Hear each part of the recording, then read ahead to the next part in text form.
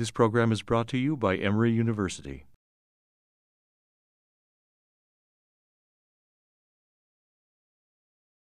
And with that, we're going to get going. So again, welcome to Cardiovascular Grand Rounds. Uh, today we have a a basic science presentation that's really on the cutting edge of translational uh, uh, science in cardiac cardiology.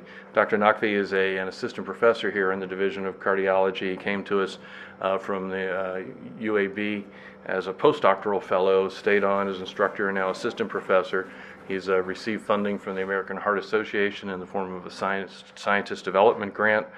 And the work he's been doing is, I think, really interesting uh, in that it really helps reshape how we think about, one more time, how we think about cardiac repair and regeneration and how hearts grow.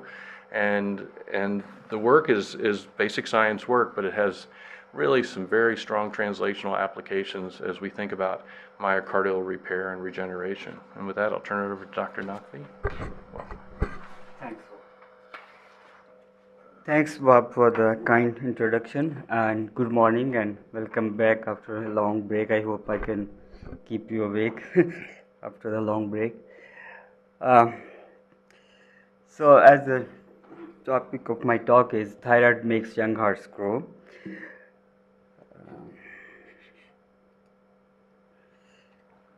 Uh, so basically, it's uh, just to take you first uh, exactly from the postnatal day 10 in mice, which is uh, just the start of pre-adolescence, uh, and this is postnatal day 35 hard. This this is uh, just past puberty or at the start of the puberty. So within these 25 days, there is a rapid body growth but as well as similar level of heart growth. So it almost matches to that. And so but the heart function uh, during this unique kind of cardiac hypertrophy where the heart has increased 400% uh, remains pretty much uh, very good. And uh, the cardiac function is uh, all parameters were very good. The stroke volume is increased equally um, matching the heart growth.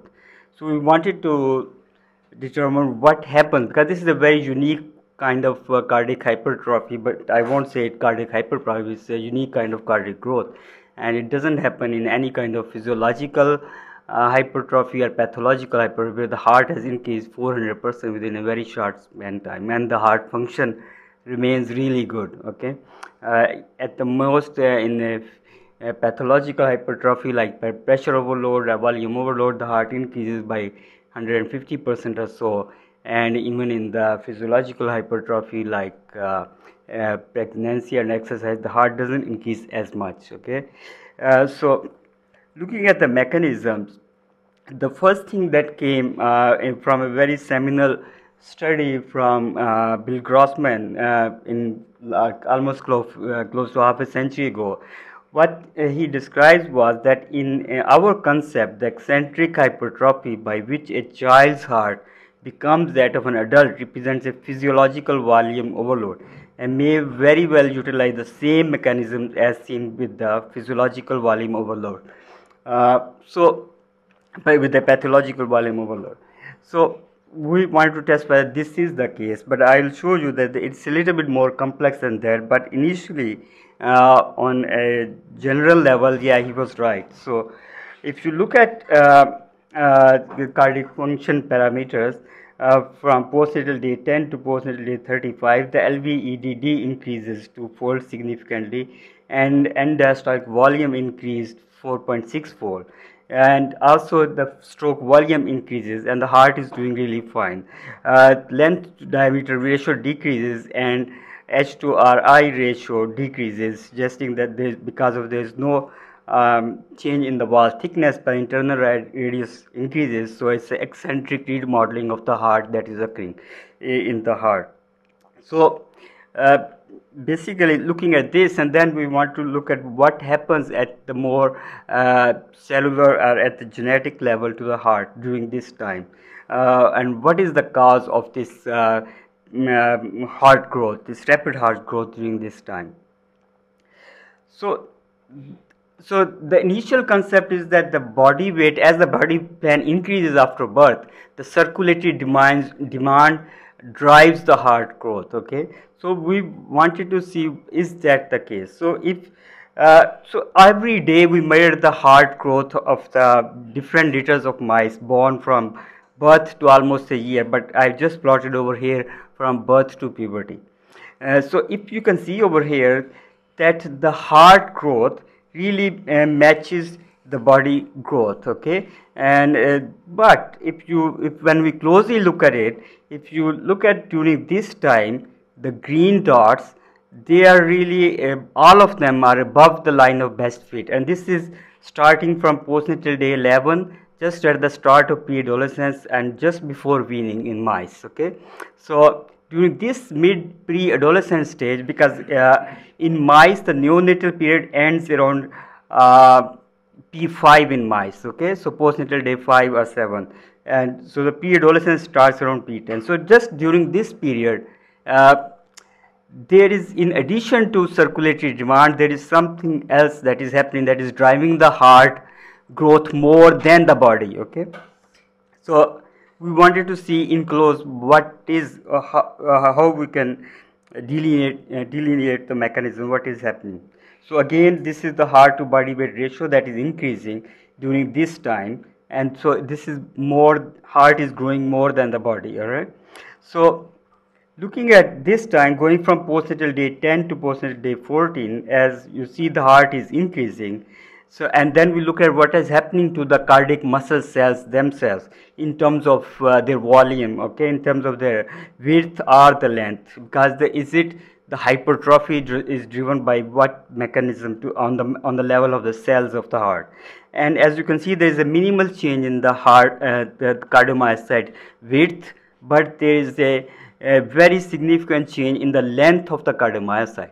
And another hallmark of the normally pathological hypertrophy of every, any kind is that you see a fetal gene reprogramming, which is characterized by ANF uh, uh, increase of, at the mRNA level and also increase in the beta myosin, okay, which is usually expressed in the during fetal stage, all right.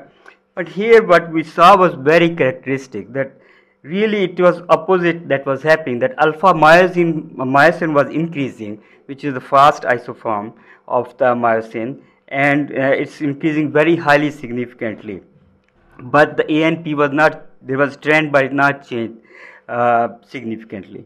So this was very characteristic that the cell length is increasing not the cell diameter which usually happens in the uh, hypertrophy and also that uh, alpha myosin uh, was increasing the change in the alpha to beta myosin ratio. So when I looked at the literature, so, the, so looking at how, in what situations this can happen. So there is one situation that comes to mind that where actually alpha myosin changes and not the beta in terms of hypertrophy of the heart and that is hyperthyroidism or in the disease of thyroid, uh, thyrotoxicosis where there is increased levels of thyroid hormone. And at the same time, looking at literature, we found that uh, when uh, some researchers tried to put thyroid hormone uh, treatment to the cardiomyocytes, the length was increasing. So really, this uh, asked me to ask the question whether is it thyroid hormone driving this pre-adolescent hypertrophic growth, and is there is a change in the thyroid hormone levels, and so we looked at the thyroid hormone levels as the uh, hypertrophy starts happening just after P10. So we looked at from P10 to up to puberty, the thyroid hormone levels. And as you can see, there is a six-fold increase in the serum thyroid hormone levels just at the start of the pre-adolescence. Okay, and we can block the synthesis of thyroid hormone with the drug PTU, which blocks the biosynthesis of thyroid hormone from its precursor T4 to T3 and using this dose of PTU which blocks half of the thyroid hormone levels we completely block this heart growth during pre-adolescence suggesting that thyroid hormone is involved in the heart growth during pre-adolescence. And even at the genetic level we block the increase in alpha myosin expression. So this was uh, this suggests that thyroid hormone is uh, in, uh, causing uh, the, this thyroid uh, this uh, pre-adolescent heart growth. So just to summarize the first part of the talk, that there is rapid body growth during pre-adolescence that is matched by the heart growth, and there is increased serum T3 levels, and cardiomyocyte length increases but not the width and there is increase in alpha to beta myosin chain ratio and the stroke volume is increased and the cardiac function remains re really good and it's the eccentric uh, remodeling of the heart that is occurring and there is no cardiac dysfunction during this period. So then we want to look what is happening at to the at the, to the cardiac muscle cells uh, in look as so the way that, that uh, any organ or in this case heart can increase in size is only two ways. One is that uh, it's the constituent, constituent cells, like the, in this case cardiomyocytes, if they can increase in size or they can increase in number. So there are only two ways is an, an organ can increase in size. Like if you can uh, if you increase the size of the cardiomyocytes, it will be like this, or if you can keep the size of the cardiomyocytes the same, but the number increases, all right? But from 100 years almost uh, close to 100 years, there is this myth or dogma out there that that after birth the cardiomyocyte number don't increase. So you are uh, you live with the number that you are born with. Okay, so if that is the case, then I thought that the majority of the cardiac hypertrophy or cardiac growth that was occurring during pre-adolescence was due to the increase in the cell volume of and not due to the cell number that's what I wanted to tell. And why that is important. That why we, why it is important to know that really the cardiomyocyte number doesn't increase. Uh, and that is important for because of the reason that if we know that the cardiomyocyte number increases, then uh, or not, then we know that whether heart has the potential to add the cardiac muscle cells to the heart after birth okay and that can be very important for many regenerative uh, diseases where you, you can cause cardiac regeneration to occur such as diseases of hyper, hypoplastic left heart syndrome in the pediatric population uh, where heart muscle cell growth doesn't happen or in after ischemic attack. So basically i looked at the cell volume during this period and the heart growth. Okay, if you go from postnatal day 10 to postnatal day 35, so there is a fourfold increase in the ventricular weight of the heart. All right, and when you look at the cell volume, the cell volume increased really significantly, but the increase was twofold. So there was really a disparity of twofold that was uh, left behind with this heart growth. So I that made me to think that it must be then coming from the increase in cardiomyocyte number. So that's what the next thing we did.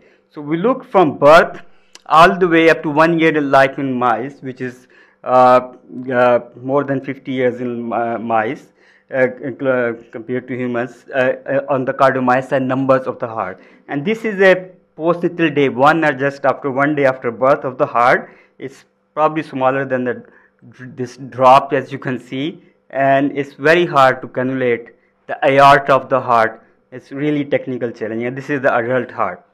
Anyway there we found that there were two growth spurts in terms of uh, cardiomyocyte number increase in the heart. The first growth spurt is during uh, p1 to p4 and it that added 30% of cardiomyocyte number to the heart. And then very surprisingly, we saw a second increase in pre-adolescence, which added 40% of the cardiomyocyte during this P14 to P18 period. And then after that, around from uh, weaning is around P21 in mice. From that onward up to the one year of life in mouse, there was no change in cardiomyocyte number. That means that your number is set during pre-adolescence, long after you are born. Okay.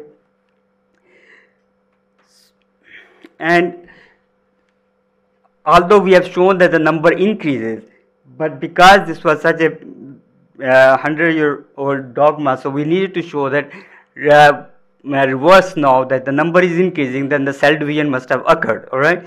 And here is a marker for cell division which is uh, in red if you can see. And uh, that marks that the cardiomyocytes are in mitosis and the green is the marker for alpha sarcomeric actin or to say that these are the cardiomyocytes. And as you can see that there is no red in the P14 uh, postnatal day 14 heart or in the P16 heart and even in the RV of the P15. But really this red or mitosis marker you're seeing only in the P15 LV and majority of it is occurring in the endocardium and very few in the epicardium and this was really characteristic but it shows that there is a, a lot of mitosis or cell division is occurring during this pre-adolescent time and here is a super res image showing, showing again that the, the cardiomyocytes that are positive for the uh, mitosis marker B and uh, the one that are negative. So I wanted to so because we see two different phases of heart growth in terms of cardiomyocyte number and I just want to show you what's the difference between because there's a very characteristic difference between that heart growth during these two periods of time. So if you look at here you can see the red but if you look at more clearly here this is the aurora B which is a mitosis marker so this is over here and but you can see that the nuclei which uh, in which this aurora B is present is all over the place okay? But this mitosis marker is not present in the RV and is not present in the epicardium. It's mainly in the endocardial space okay? And so this is P15 heart p15 heart. This is in during pre-adolescent okay? But if you look at a neonatal heart which is p2 just two days after birth you can see this growth uh, the mitosis is Cell division is occurring in the heart everywhere. It's in the RV as well as LV everywhere. It's not localized. So this was really surprising and very interesting phenomenon which we still have some speculation but we don't know why uh, during pre-adolescence it's a very localized growth of the heart only in the LV subendocardium. So another after last year publication of our study the problem was that people still don't want to believe. So we were sent our specimens uh, for to a well-known uh, bio, developmental biologist laboratory, Richard Harvey in Australia, to blindedly blind in a blinded manner to verify our results independently. And we were really uh, satisfied that uh, he could also find in a blinded manner that the cardiomyocyte cell division is occurring as you can see over here in the cardiomyocytes in the P15 heart and not in the P10 heart. So again indicating that really this is a real phenomenon. And this just published this month.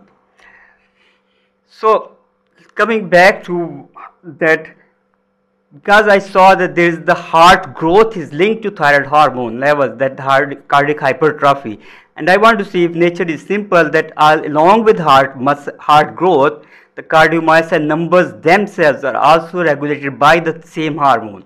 So here I can show you again that the heart growth is if is completely blocked during this time if you give PTU, the blocker of thyroid hormone biosynthesis. Okay, and but at the same time, this is the cardiomyocyte population growth during the pre-adolescence, and this also is completely blocked by the thyroid hormone blockage, suggesting that both cardiac hyper, uh, hypertrophic growth as well as cardiac hyperplasia are uh, increase in cardiomyocyte number. Both things are driven by the thyroid hormone during pre-adolescence. So what that we find the thyroid hormone is causing the increase in thyroid um, cardiomyocyte number or there is a replicative burst. So in terms of translational point of view, if you will look at that, the main thing is everybody is trying to regenerate the heart after a ischemic attack or where, where there is a loss of muscles. And if hmm. this replicative potential of the heart, we don't know whether even if we can today in the adult heart, we can find a mechanism of cardiac muscle cells to replicate. Whether that can translate into regenerative potential, we don't know okay so we really want to test this because over here we had this unique opportunity that we see two windows of replicative heart uh, where there is the replicative potential is there whether that can translate into regeneration or not if after we give them ischemic attack. So here, as you can show, these two windows are here is the replicative burst, another replicative burst during pre-adolescence. And then just after weaning a P21 in mice, there is no change in cardiomyocyte number. So, so I took three different ages of mice, which is P2, which is right in during this replicative burst, and P15 during this replicative burst, and just one week after at P21 mice. And we gave them ischemic injury and checked what happens to their regenerative uh, potential or regeneration. So just to summarize because of the lot of data and for sake of time, when we give injury to the P2 mouse heart, we give we get 100% regeneration within 7 days after injury to the heart. When we give P15 mouse injury, we get 30 to 50% regeneration within 7 days, okay? But just after 1 week at weaning, we give the injury to the mice, the heart doesn't regenerate at all. So we know that these two hearts have equal replicative potential and they are regenerating and this this even this regeneration made a significant difference in the ejection fraction fractional shortening uh, in terms of cardiac function. But it was really surprising that despite this heart has full replicative potential but just going from neonatal to pre-adolescent phase it lost the regenerative potential significantly. So there must be some a transition during this transition from neonatal to pre-adolescent period, there must be some inhibitory factors that are coming on board that despite even if we can have replicative potential in the cardiac muscle cells even in the adult situation, we need to overcome that hurdle. And that is we are working currently to identify the factor that really blocks this regeneration despite that the heart has the replicative potential. So and just to uh, show you that even in the pediatric population, these uh, they have tried using thyroid hormone and does make a difference in terms of therapeutic index uh, uh and in terms of uh, in, in complex uh, congenital heart patient. And this thyroid hormone is actively being considered now as a therapy um, for, each, for, the, for, for the heart. And even in the adult situation, last year, I uh, interviewed this fellow from Martin Gerdes' lab for the, our cardiology program, and they just published a study which shows that even after ischemic injury in the rats, when they give thyroid hormone, that makes a difference in terms of cardiac function as well as uh, cardiac regeneration in terms of uh, infarct size as well as um, uh, non-infarct tissue area was significantly improved and uh, they think this is because of cardiac regeneration, although they haven't gone further. But uh, Dr. Martin Gerdes' group in the uh, in, in, New York, they are now actively pursuing to use thyroid hormone as a therapy in the adults uh, patient population. So, what I have shown you so far is that the thyroid, uh, as a result of uh, from the thyroid stimulating hormone, the thyroid hormone releases thyroid Thy thyroid releases thyroid hormone, increases the serum thyroid hormone levels, and that during pre-adolescence cause this uh, heart to grow tremendously, and it is involved with the cardiomyocyte number increase, okay, and that T3 can be used as a candidate for regenerative therapy in the pediatric population definitely, but also may be possible in the adults. So we wanted to know that what is the mechanism, how thyroid hormone is doing is. There are two reasons for us to know. One is that if we know what is what is the molecular underpinnings of this uh, uh, thyroid hormone mediated cardiomyocyte proliferation, we can maybe use that as a tool for regenerative therapy. And the second important thing was that just not only we uh, uh we have uh, really hit upon many people's toes in terms of uh, uh, breaking this dogma or myth of 100 years old that cardiomyocyte number doesn't increase. But on top of that, the second controversial thing was that we are saying thyroid hormone is doing it.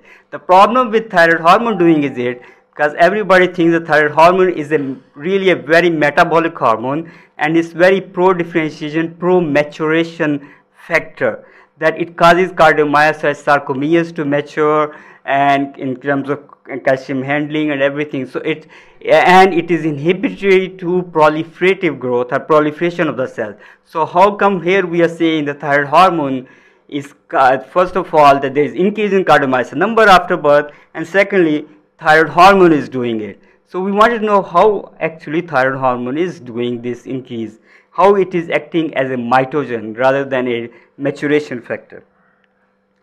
So one clue came from our in vivo studies, and that was that during the same time that the pre-adolescent, the hypertrophic, uh, the, the growth, uh, pre-adolescent growth was occurring, that there was increase in the, uh, uh in one of the very powerful mitogenic factor, and that is called IGF-1, insulin-like growth factor 1 that increased specifically during P15 during at the time when the pre-adolescent burst was happening. And this is in the heart section uh, I'm showing that insulin growth factor 1 increases.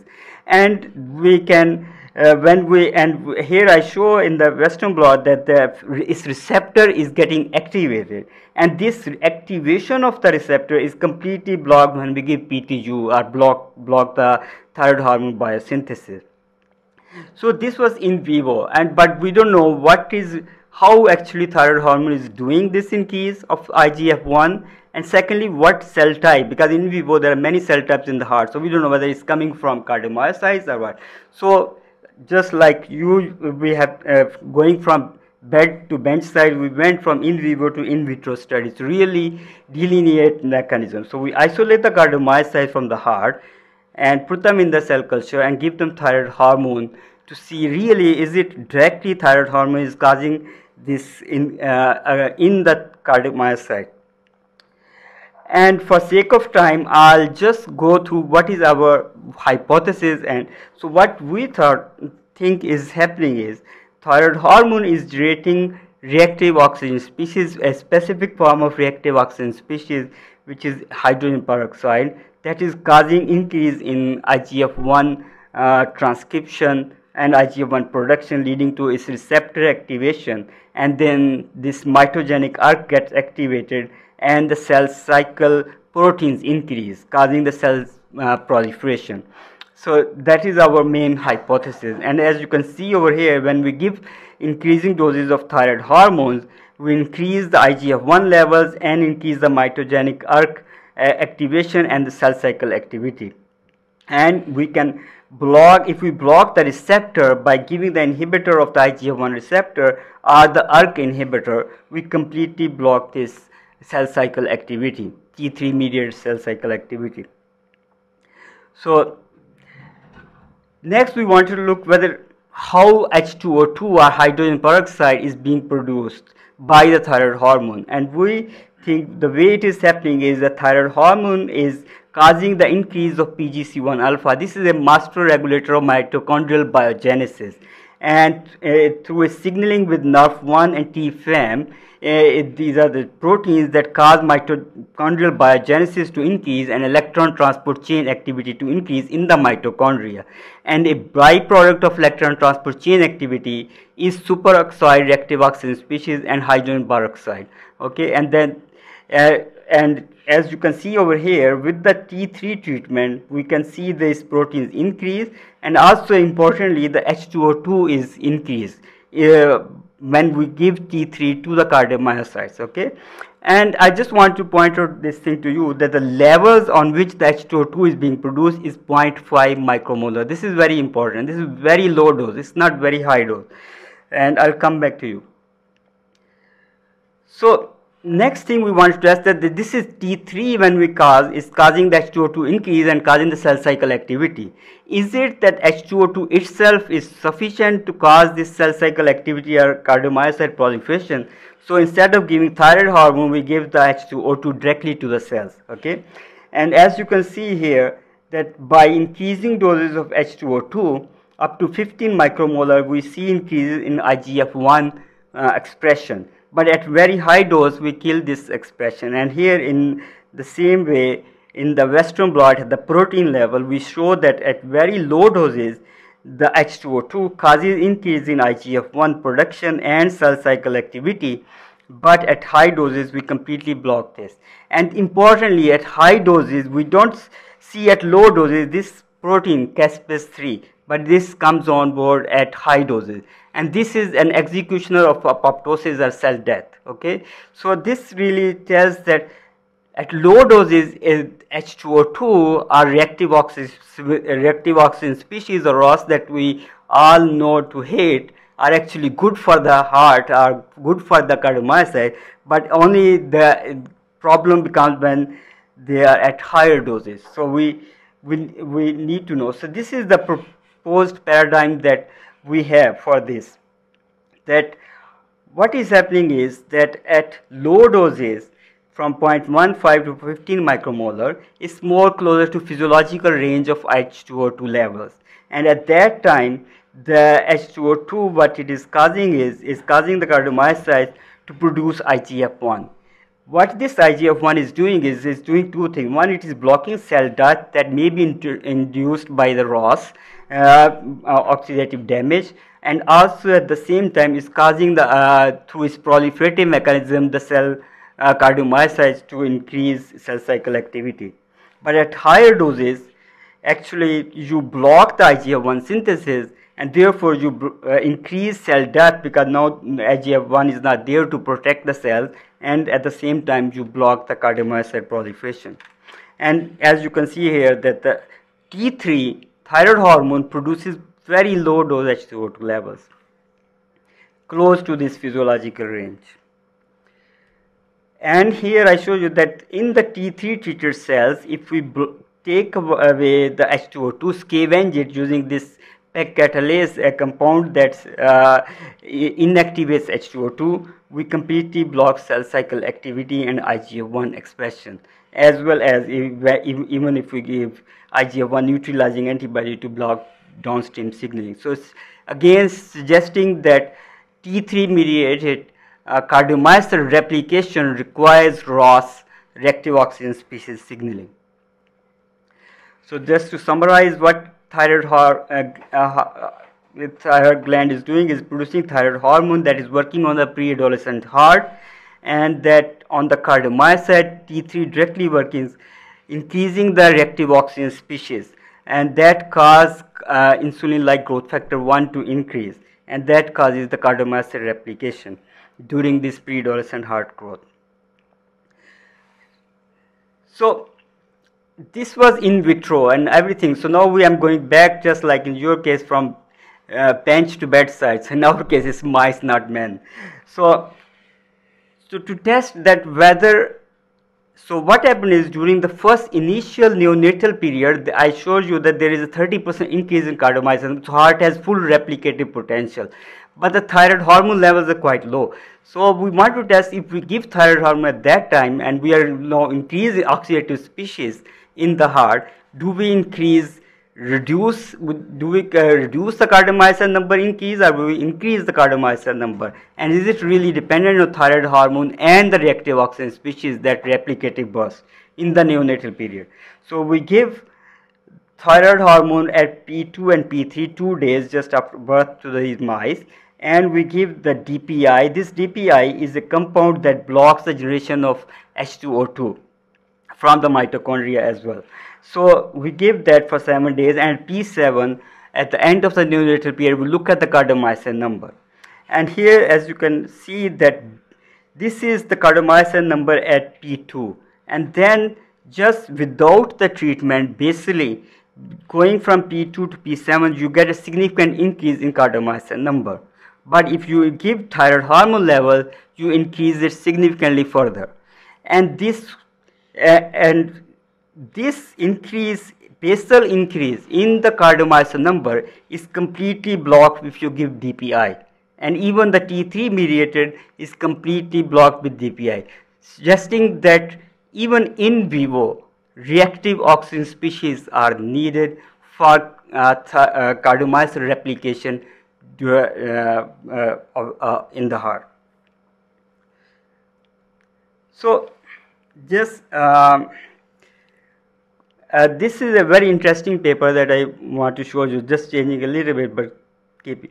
So what happens is this paper published long time ago in circulation research suggests that what they did was in the hearts they gave they make two or three groups of rat pups after birth one with the four pups to the mother and another with the 16 pups thinking that there will be the four pups will have optimal nutrition and the 16 pups will have restricted nutrition because there is only one mother to feed and they looked at weaning what happens to cardiac growth in terms of cardiomyocyte number and what they found very surprisingly was that there was the fast growing rats had 30% increase in cardiomyocyte number compared to the slow growing rats.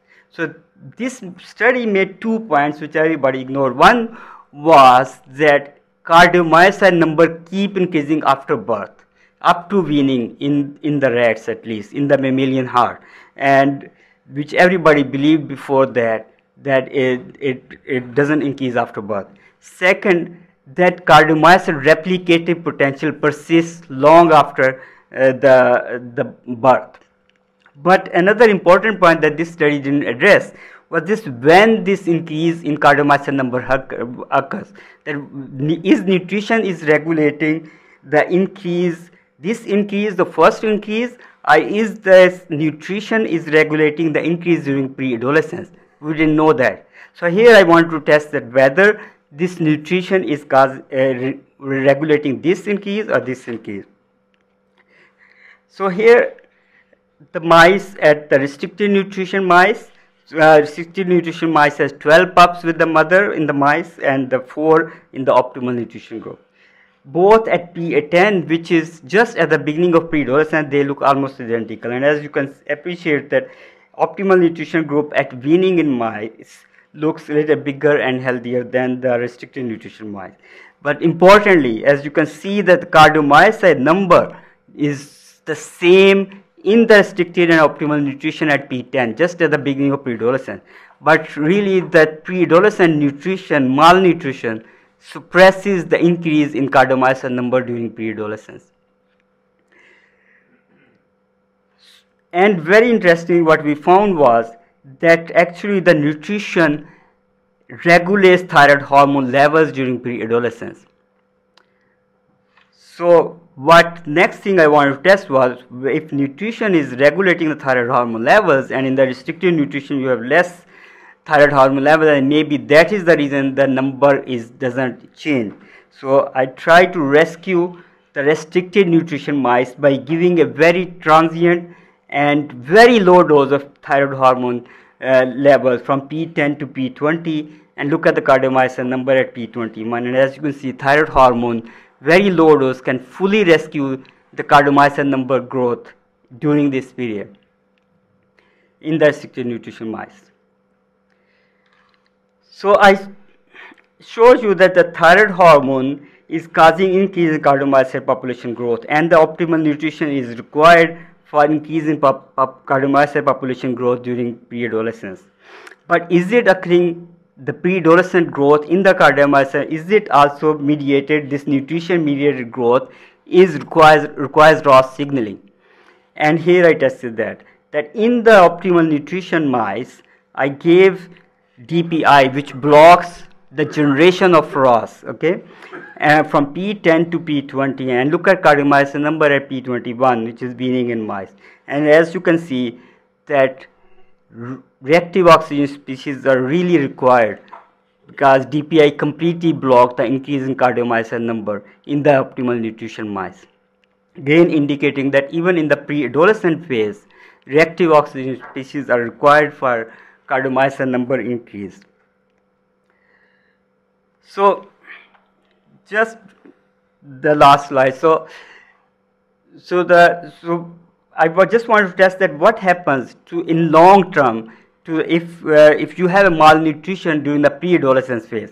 So here to the mice we give they were either on restricted nutrition diet or optimal nutrition diet uh, up to P21 and then from P21 which is weaning in mice up to adult life uh, around p uh, 10 weeks old mice, they were all uh, on optimal nutrition, both groups. And I want to test what happens long term to the cardiac function. And as you can see over here, restricted nutrition mice never recover despite the fact uh, they were having optimal nutrition throughout the life afterwards. So really pre-adolescent nutrition has a long-term impact on the heart because if you have less number, you have less contractile function. And we look at other fractional shortening and other parameters and they also are the same. So the next obviously I wanted to test whether this transient administration of very low dose T3 in the restricted nutrition mice, can this rescue these mice for long term, for lifelong uh, period? And again the same thing, but instead of in the restricted nutrition mice, we added the thyroid hormone just for this transient period. And then I look at adult. And as you can see that thyroid hormone, this transient administration can rescue the mice for the lifelong for the cardiac function of the heart. So basically to summarize that the heart growth during pre-adolescence is governed by thyroid hormone but um, importantly reactive oxygen species which all we think may be a foe of the heart, it may be a friend of the heart. It all depends on the context and the levels of the reactives. Uh, so it's not that you just keep using the antioxidants so much, so but you have to have a good levels of oxygen in your cardiovascular system also. Uh, and that is probably the reason why antioxidant trials didn't work. And the second thing is that the active monitoring of thyroid hormone levels during pre-adolescence is important thing. And that the pre-adolescent nutritional status has long, lifelong impact on cardiac function. And with that, I would like to thank my main collaborator, Hassan Hussain, and uh, Lin Tan, the fellow who did uh, the last one and a half year of work on some of the unpublished studies, and um, uh, Tora, who did some of the work in isolated cardiomyocytes to look at cell volume, and Tor, who is probably on honeymoon yet, but he did the um, uh, serum thyroid hormone levels during the pre-adolescence. And Bob Taylor's lab helped us with some H2O2 uh, measurements and also has provided us kindly with this catalase mice which we are doing ongoing studies during this period and Griendling's lab again provided some primers for the uh, for measurements of some reactive oxygen species related uh, genes and also the NOX4 knockout mice which we are doing some ongoing studies with them and Bob Graham in Australia his lab and David Lefer and John Calvert at the Emory Midtown and David Martin at CHORI in San Diego. Uh, with, and of course my sponsors. Thank you.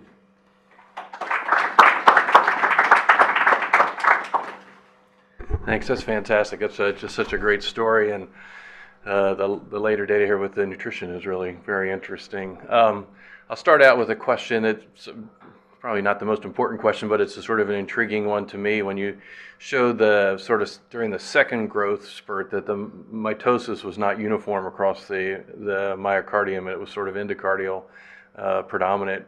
What do you think is going on with that? Is that a is that sort of a loading thing yeah, or? So it's a kind of will be speculation. Yes, at the yeah. moment we are still working on it. So there can be few things, a combination of few things.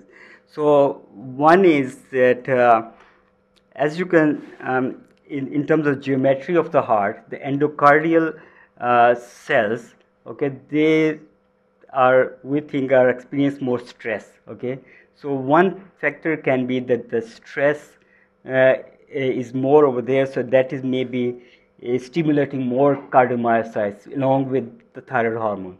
Secondly, we don't know what is the levels of what is the distribution of the thyroid hormone receptors going from epicardial to endocardial or RV during this time.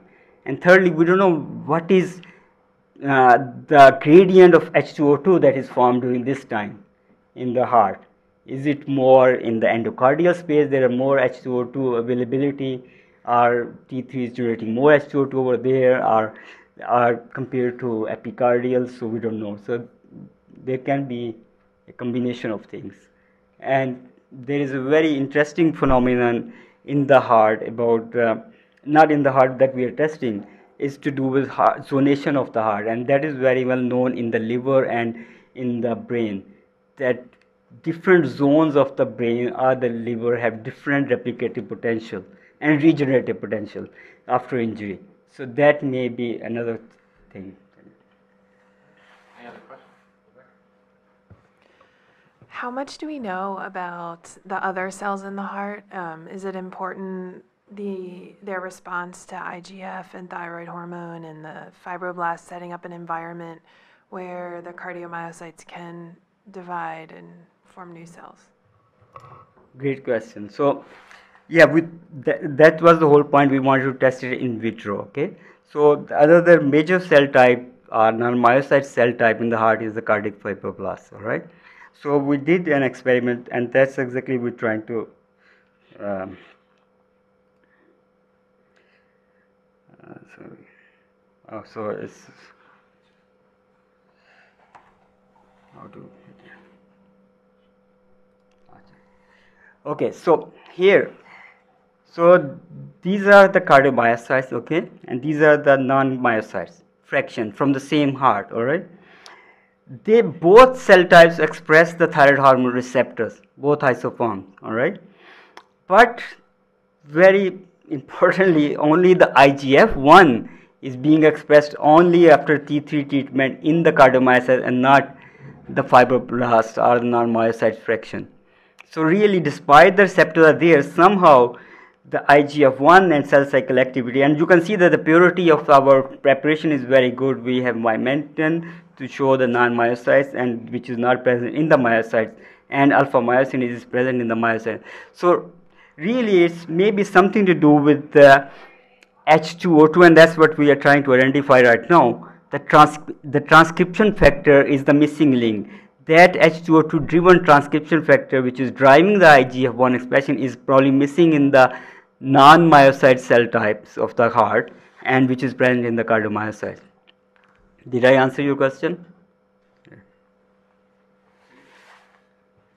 Thank you for that talk. Um, so I, I, have I have a question. Maybe you can just help me with. When you showed us the gradient of H2O2, and as I understand it, as a non-basic scientist, you said if it was less than 15 micromolar per yes yeah. Um, it was probably physiological and had a positive effect, whereas if it was over 400, it had a deleterious effect in terms of um, the effect on cell growth. Um, well, th- there's there's a big gap in between in terms of th- have you been able to refine that further? What happens between 15 and 400 uh, micromolar? Uh, okay. Uh, so that's kind of a just a question. I'm just because H2O2 is obviously such an important molecule, and it's kind of fascinating that it could have a you know positive and a negative effect. And I just wonder what what the could, did you tighten that band where you find where it's deleterious and where it's not? And then I yeah, so very um, important question. So we we haven't after the 15 micromolar we have gone to 30 and we start seeing cell death. But the important thing is uh, the question that we haven't showed you a lot of data over here that even in the 15 micromolar in that slide, I showed you the IGF-1 expression and cell cycle activity and there is no caspase. But when we block the IGF-1 receptor, even at the level of 15 micromolar, we start seeing cell death. So really, even 15, that's why I showed you that cartoon, that even 15 maybe is over the physiological range. So physiological range to my way is that what when we give thyroid hormone, it's generating or during pre-adolescence, it's generating around 0.5 micromolar. So it may be 0.5 to 2 micromolar or something but uh, but still i'm not sure. But even if the physiological range is 15 micromolar the reason the cell is protective is because of why it is at the same time h2o2 is doing two things. One it, it is driving the replication but it knows it is producing something which can be damaging to the heart. So to take care of that it is uh, it is uh, it is uh, activating a pathway that is really protective as well as regenerative. So that that's the whole thing. I was just gonna, with regard to the infarction model that you showed, obviously for us clinicians that's very exciting. Um, well, can you speculate a little more as to the clinical potential of thyroid hormone uh, and uh, IGF and other things for yeah. treating infarction yes. and regeneration? Yes. So, uh, what is I think exogenous IGF-1 per, uh, uh, giving to the heart after ischemic injury has been shown that when you directly inject IGF-1 to the heart, that gives benefit in terms of uh, cardiac function to the heart after ischemic injury. And in terms of regeneration, I'm not sure, but the paper actually does show that some regeneration occurs. Okay, uh, and the, this, as I was telling you, the group in uh, uh in New York, in the rats, they have shown that uh, after injury, uh, when you give thyroid hormone, that gives benefit in terms of uh, infarct size, in terms of non-infarcted area and LV wall thickness. Uh, and they're trying to pursue it in, in the clinic with some doctors over there to give thyroid hormone directly to the patient after ischemic injury. Because what happened is that they believe that heart goes into a hypothyroid state immediately after injury. So maybe thyroid hormone giving is a beneficial in that aspect. This other than the mechanism that we discovered. Uh, that, that, was really interesting. I understood a lot of it, uh, but not all of it. Uh, so that I get this message straight, is it generally agreed now that uh, regeneration, that that, uh, uh, cell number changes over time in human, or is that still a controversial? Issue because uh, it's very convincing from what you said. So I don't want to leave here saying, oh, it's now well proven that uh, uh, myocardium really does uh, regenerate. Yes. I saw yeah. it. Yeah. But uh, then I think, okay, well, mostly I was seeing rats, so uh, mice. So tell me, yeah. is it still controversial so, and so what? Yeah, so great question. That's why it took four years to publish this paper. so I had the slides over here, but I probably didn't bring them with me. So just a paper has published uh, four or five months ago in Cell again, uh, showing that in humans the cardiomyocyte number doesn't increase. But then there was a paper published in the humans using the same heart sample to show that the cardiomyocyte number fourfold increased during the first 10 years of human life. Okay, so there is a controversy. But one thing is sure, both studies and uh, and the study that says the cardiomyocyte number doesn't increase also shows previously and in this study in, in science okay uh, that was published that cardiomyocytes do replicate and most heart muscle cells are formed during the first 10 years of life. And that is the main thesis of their findings and that's uh, present even on their websites. That's so really the cardiomyocyte muscle cells uh, can uh, are forming during the first 10 years of human life. So that is there is no controversy in there okay? But one is saying there one study that is saying that as a result of these muscle cells new muscle cells formed after birth during the first 10 years of pre-adolescence and as well as we are saying that the number is increasing. Another is saying maybe the death is occurring but they haven't measured the death and i don't believe that there is a cell death too much occurring during the first 10 years of life because that will not be good for the heart. So so uh, as far as the replicative potential is concerned, yeah, there, there is no controversy that replicative potential is there in the heart. But in terms of number, there is a controversy.